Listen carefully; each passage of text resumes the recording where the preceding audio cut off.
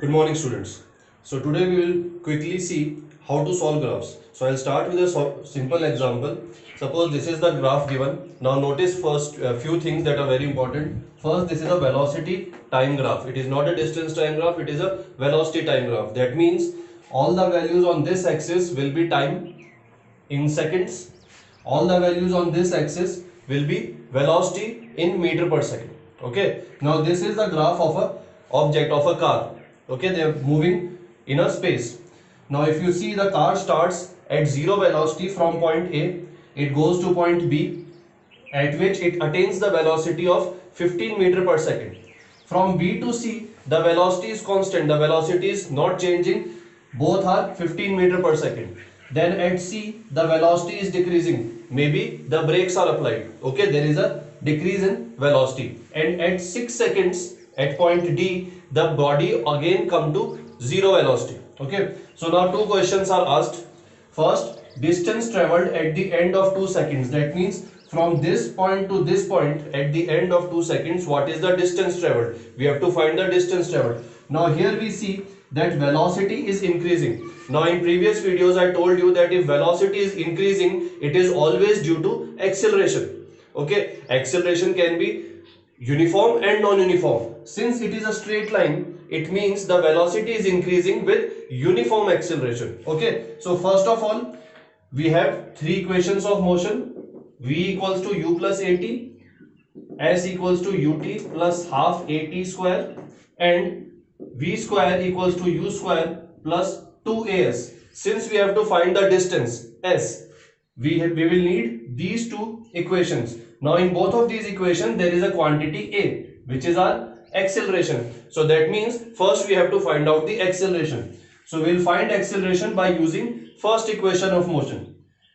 v equals to u plus at. Now what is v? v is the velocity at 2 seconds. Final velocity because we are considered only this much part of the graph from here to here. This part. So velocity at the point B is 15 meter per second. This is our final velocity.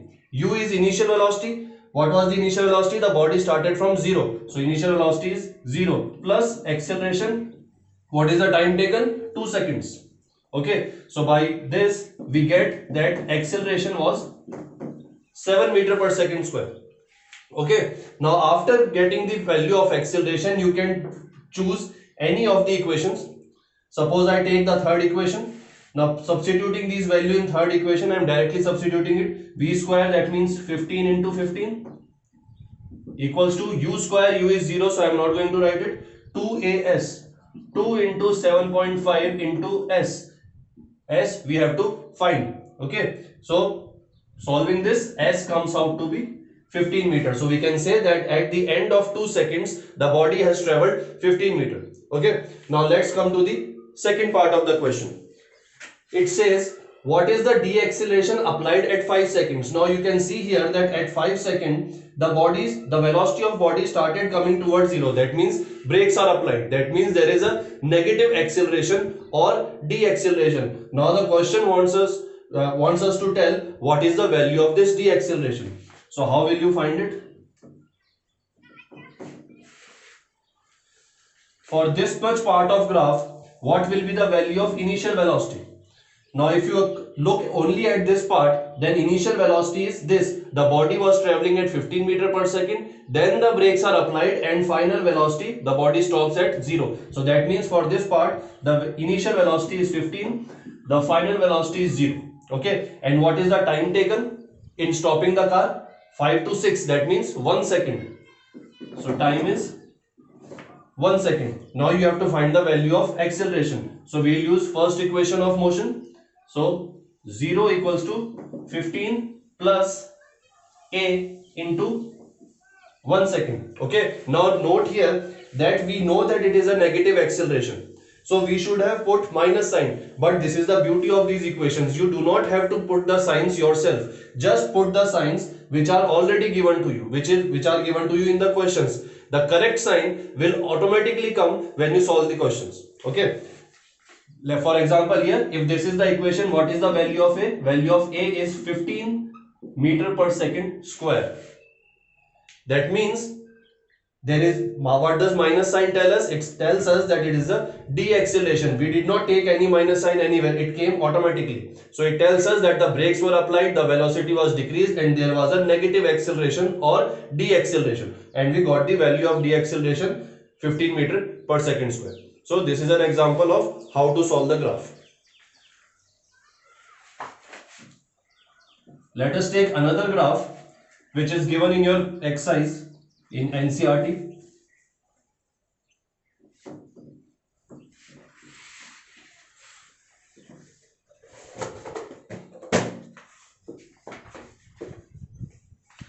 Now in this graph,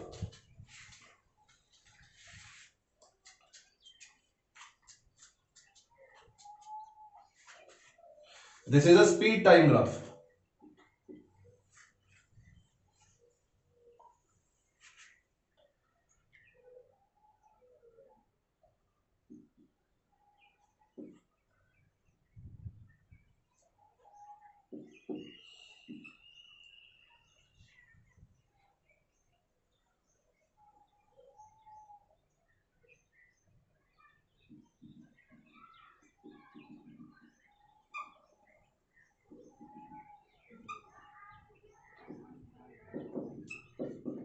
Time is in second. This is speed. That will be in meter per second. So this is the graph that is given to us. Now the question that is asked is find how far does the car, car travel in the first 4 seconds? From here to here what is the distance traveled by car? Now distance is not directly given into the graph but initial and final speeds can be taken here. Now initial speed is 0 the car started from 0 and at 4 seconds the velocity of car was 6 meter per second okay? The curve is not a straight line. What does it tell us? That there is an acceleration but the acceleration is non-uniform because it is not a straight line it is a curved line so it is a non-uniform acceleration okay? So first we can find the acceleration. Now what is it asking us? It is asking us to find s at the end of 4 seconds. So for that first we need to find a. Now using the first equation v equals to u plus at.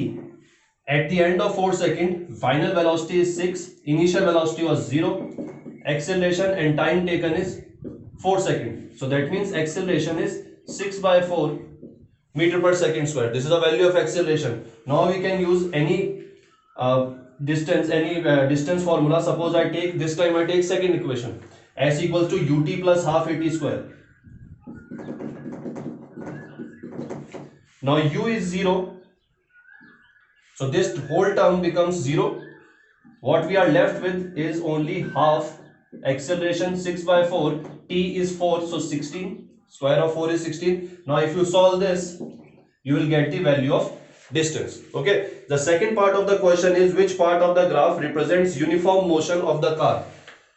Which part of the graph represents uniform motion? Uniform motion means equal distances covered in equal interval of time. Now when will a car cover equal distances? It will cover equal distance when the speed is not changed. If the speed is changed, it will cover unequal distances. So which part is showing no change in speed? From here to this point, the line is curved. Then it is not a straight line, it is a curved line. So that means there is an acceleration, non-uniform acceleration. The speed is changing. But after this point, in this region, the value of speed is not changing. What does that mean? That we are having a constant velocity. That means the body will travel equal distances in equal interval of time. Okay? So this is how we read graph. I'll make another video by solving another question of ncert okay? Go through these questions these two examples and tell me if you have any problems. Thank you